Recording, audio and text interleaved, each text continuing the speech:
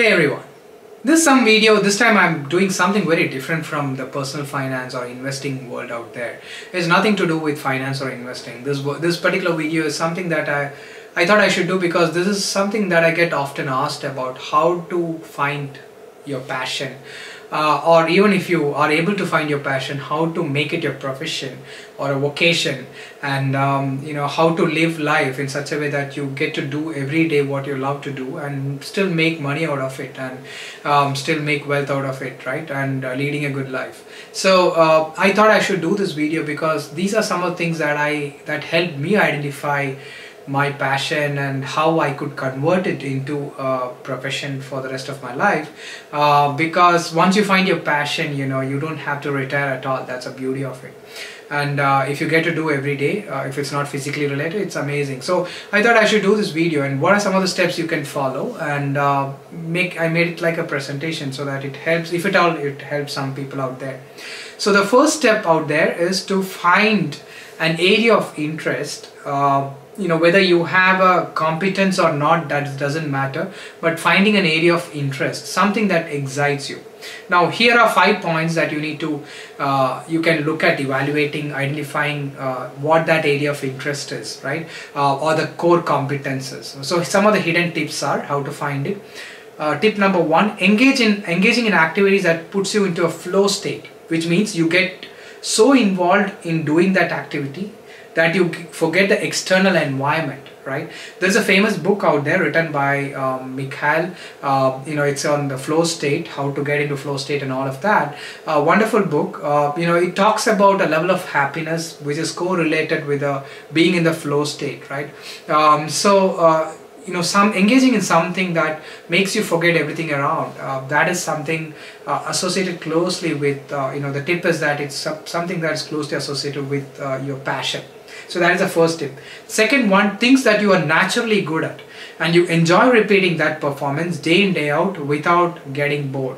So there are certain things that makes people uh, love it. You know, the reason for loving that is it could be because you're really good at it.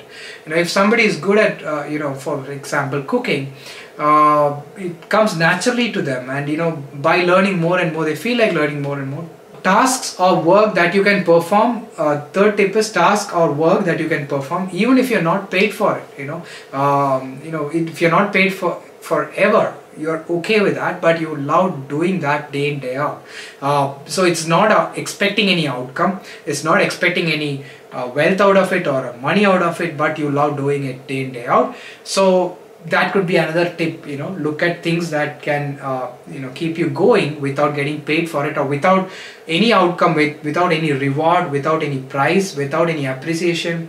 You don't care about appreciation. You do it you know because you love it you know. That's a inner scorecard concept by warren buffett which i'll do a different video on. The fourth thing is eustress as against stressed out. There's something called as stress. It's a positive way of a positive cause of stress right? Or positive outcome of stress. So uh, it excites you. It creates kind of a excitement. It kinds of a, a, bit of anxiety though but it is in a positive way. It makes you feel excited. Expands you uh, you know whenever it expands you before doing an activity. And you want to you feel excited. It takes you to higher level.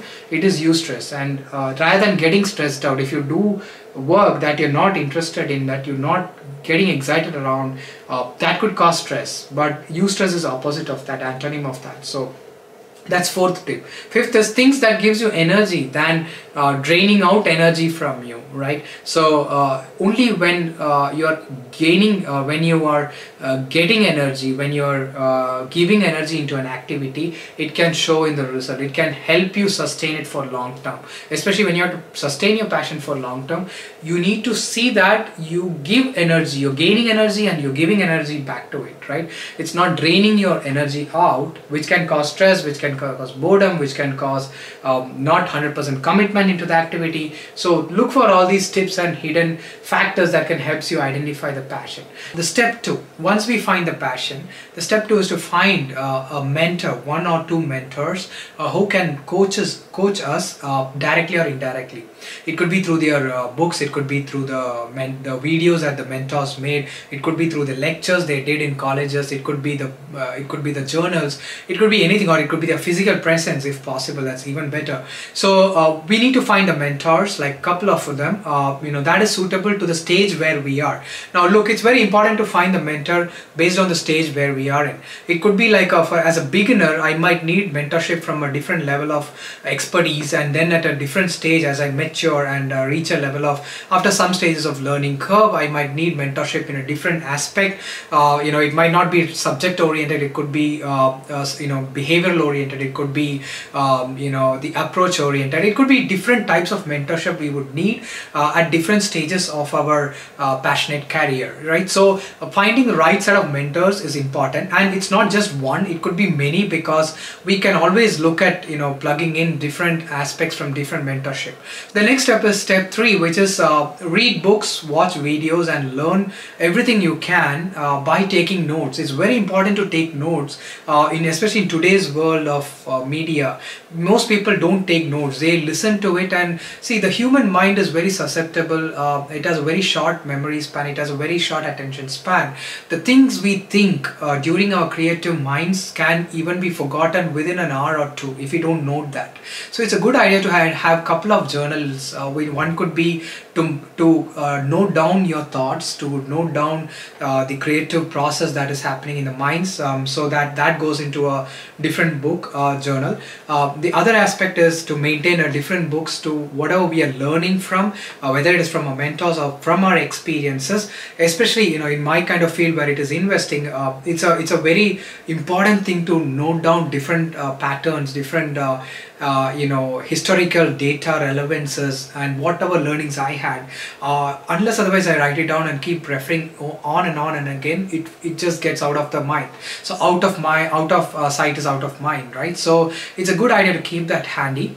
And it could be a good reference point in the future. So it's very important to have handwritten notes uh, that we can correlate to that we can refer to in the future uh, whether it is two two parts to it. One is to note down our own thought process because we when, we, when it's our passion uh, we tend to be always living in that you know. For example i eat i sleep i drink uh, markets all the time. So i tend to have many thought process many ideas uh, which i immediately note it down when i go for a walk, I get an idea, note it down in the book, right? Um, that is important. At the same time, you maintain another book which is to record your learnings or experiences, another book to record the experience and teachings from the mentors. So it's a good idea to have handwritten notes. So that is an important point. Now, why it is important is because it helps us to uh, improve daily where we stand, uh, it helps us to benchmark and it helps us to improve daily one percentage. See, compounding works everywhere. Uh, when it is reading books, whether it is learning from mentors, whether it is learning from experiences, it's all compounding. It is a time that rules the world in the world of compounding, right? So, uh, the famous book Atomic Habits, written by James Clear, is predicated on the concept of compounding. Not only money and wealth, uh, you know, compounding happens to the experiences. Compounding happens when we read in the knowledge, in accumulating uh, experience experiences, mental models, all of that. So he had given this great, uh, beautiful chart. You know, one percentage better every day can compound and become. You know, the difference it has, it attributes in a year is almost 37 times you become better than where you started if you compound one percent every day over a year's period. But than where we started, you know, without any improvement. So continuous improvement, continuous learning uh, through videos, books. That is a step three. And um, step four. Okay so all this is great. You found your passion. Suppose you found your area of competence, which you are naturally good at or whatever. You found your mentor. You're progressing with a mentorship. Now you are learning through videos, uh, teachings, uh, you know, noting, taking down notes and all of that. But those things are not going to feed a family, right? We need some income. We need sources of income. So we cannot just quit our job and switch on to the passionate field, like saying like, you know, this is my passion. Tomorrow onwards, I'm going to do this so how do we get there? You know, so the idea is to find a service orientation around the passion that you are doing, going to do.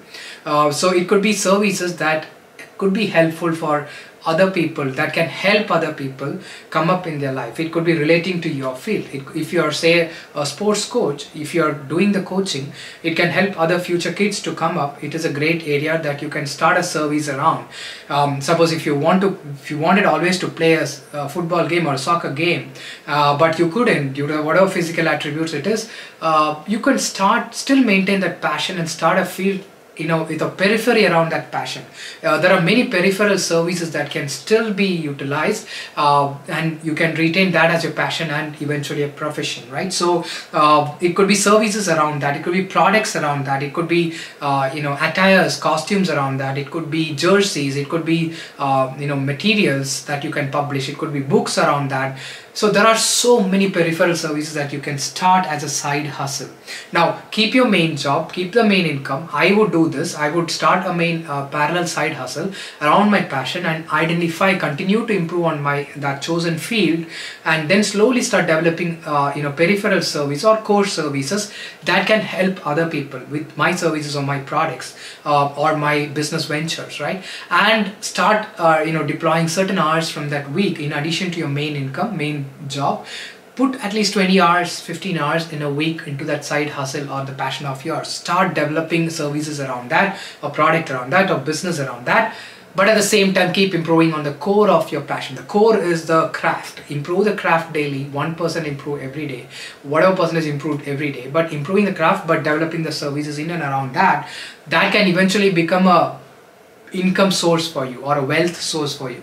Um, so that is the idea. So the side hustle can or the side uh, work that you're putting in to develop your passion and services or business around it might take time. It could be two years three years four years ten years away. But if you continuously do that uh, there would at some point of time there would be a stage where your side hustle would earn uh, maybe half or one third of what you're earning today, which could sufficiently meet your demands. And that is good enough. It's a good indication, it is a good inflection point to determine that, okay, this is working in the right direction. Now I can give more effort, more uh, towards that. And eventually, I'm sure it should work in your way to become your main job or main source of income. Uh, it's It wouldn't no longer be a job, it's your passion, it's your work. Uh, you can live that every day. So that is, um, that is a, uh, you know, path I would take. I mean, that that's what I did and it worked over a 10 year 12 year period. Now uh, some people it could work earlier some people could take time but this is the path you know having a parallel path of enhancing the services around your core passion is important. At the same time improving the passion itself you know uh, continuously. So uh, Charlie Munger said it beautifully, you know, be a continuous learner. It, it, if you apply stage steps one to four, we can be continuous learners. We can cho- choose a field and become uh, better at it every day and continuously improve, uh, improve the craft, improve the services, improve the skills, and eventually we uh, get to live uh, the concept of finer. Uh, I, I'm not a big fan of FIRE principle, you know, fire, financial independence, retire early. I don't believe in retiring early. If it's your passion, you will never ever retire in your life. So I believe in the concept of finer, which is financial independence never ever retire. Uh, just like we see you know people who follow their passion they just continue to do that for the rest of their life. So which is important and you can have different passions at different points of time again. Now it's not just one thing. Uh, there are people who uh, starts a completely different line of uh, business or different line of philanthropy. There are different things that people take at different stages of life. So it's not that you have to marry towards one thing but this kind of an approach or framework helps us identify that passion. Just wanted to bring this up. Trust this was helpful. Signing off, Sandeep Anand.